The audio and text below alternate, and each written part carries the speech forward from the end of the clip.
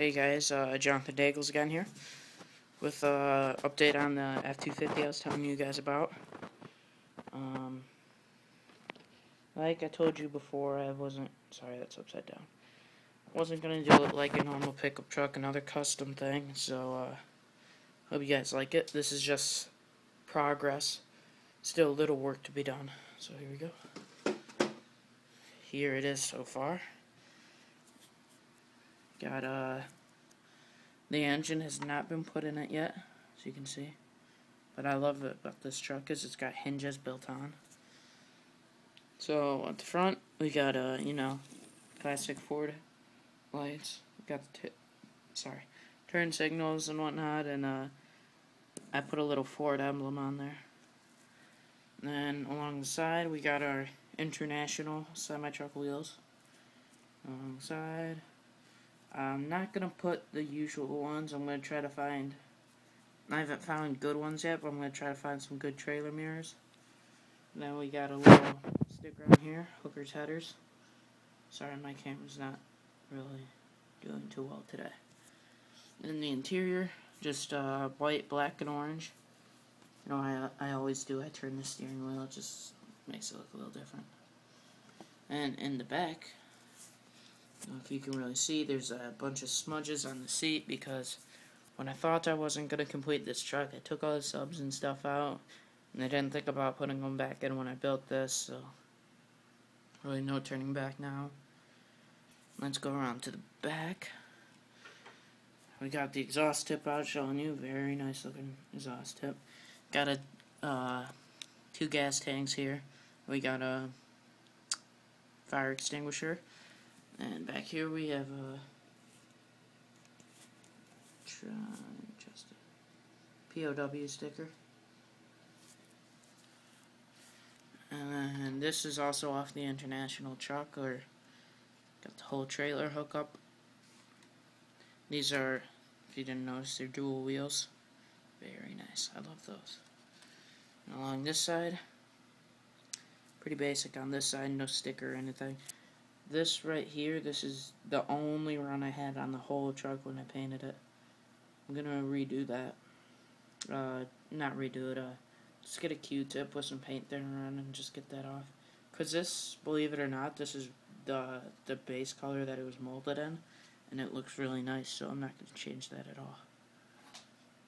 I don't know why. I always, whenever I see this truck when I'm working on it, I always think of dreamsicles. I don't know. It sounds weird, but whatever.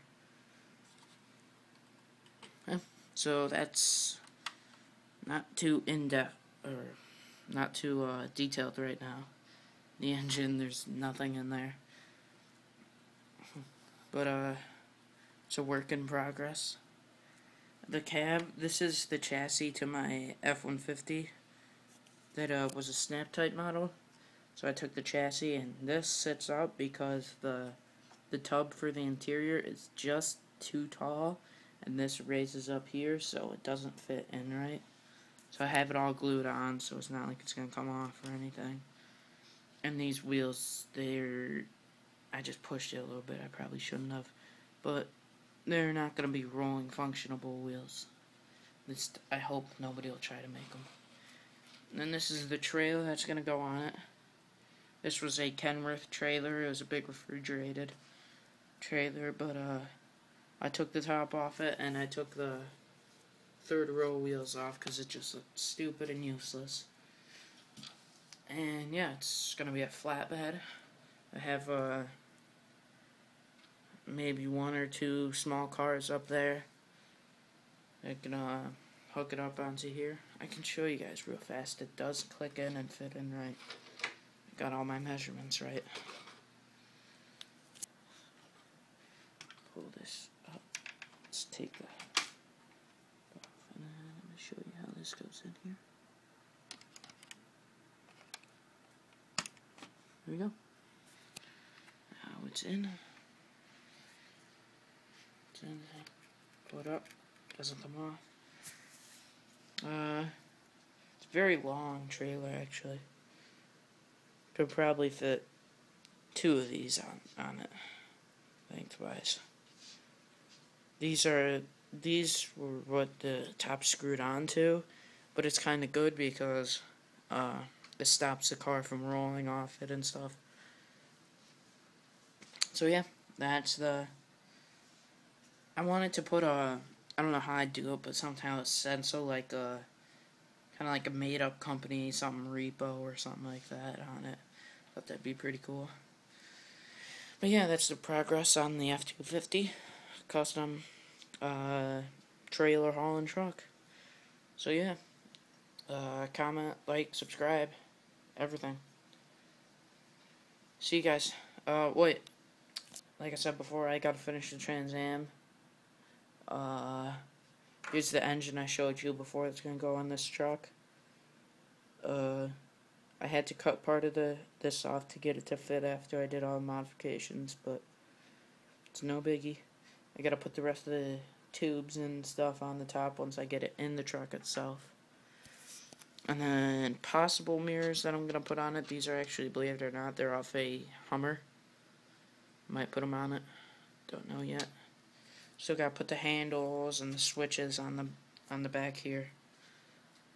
Um, oh, really hated not putting this on. Ah, shoot. This is the tail tailgate. Thought it came out perfect. I really hate not being able to put it on. Like, I just want to, like, do it right on there. No, I'm joking. That'd be stupid. But yeah, that's the truck. And a little seeing in the future, I think what the next model I'm going to get is going to be the uh, Chevy van. I'm not sure what year. It's a 80 something, I think. And what I'm going to do with it is my brother has a Dremel, and I'm going to have him cut the top of it off from behind the seats to all the way to the back so you can take it off. I'm to have a big, like, I'm to have a couch in the back. I'm to have a big sub set up. It's going to be real nice. But that's if I can get out to the hobby store and stuff. But not much money coming in right now, so that'll be a while. I'm just to keep up with the train. You know what? You guys have waited so long. Just gonna show you the body to the Trans Am now. No, it's not put together. That's what the body looks like. I don't know if you guys have seen the body in other videos I've made. But yeah. There was a crack on the windshield where it was like the windshield I could take it apart.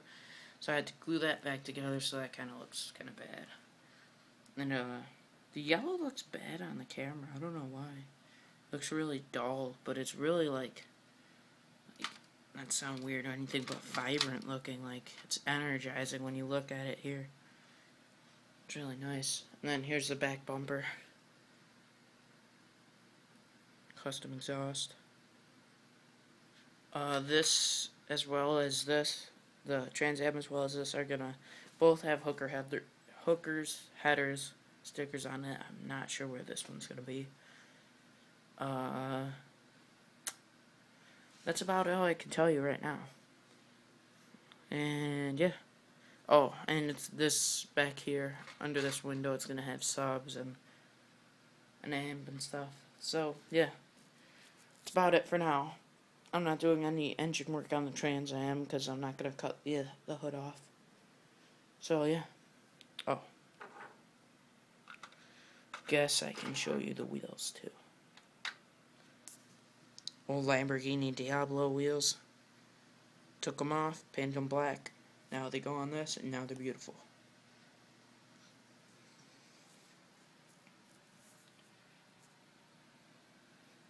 Actually, I could leave this up on here until I'm finished with it, and it looks pretty cool. You guys can kind of see about how lengthy this trailer is. This is this the Trans Am is pretty long model. So you see the whole Trans Am and then you see all of that room going up. And then you could always have a little sag of the bumper or whatever over here. And then I'm gonna get a either fishing wire or normal string to put over around the car and then tie it on the bottom. It'll look pretty realistic. Okay, so that's about all I can tell you right now. And yeah. Okay. Thanks for watching the vid. See you guys later.